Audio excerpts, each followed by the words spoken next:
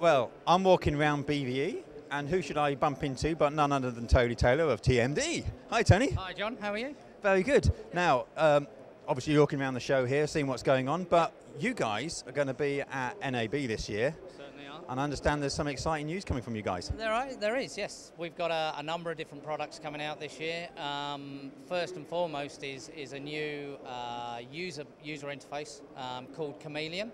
Um, it's designed as a, as a simple user interface for, for more people to use across uh, the enterprise. We've always been known for our, our extensive uh, asset management system used in media, media managers uh, departments, used in archives, etc. Well, now obviously companies are looking to expand that out to a much wider audience. So we've uh, we've started to, uh, to the launch of Chameleon. Um, it's using all new technologies. It's using HTML5. It's uh, all the good things that um, that people want uh, within within the marketplace these days.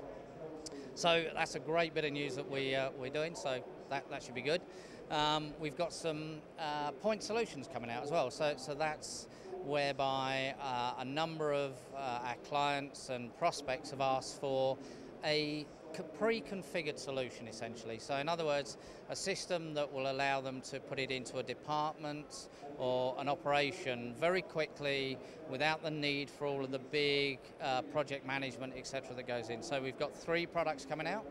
One for archiving, which is uh, called Paragon.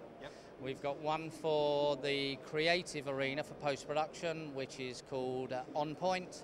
And uh, our last one is really for the, for the big area of digital delivery.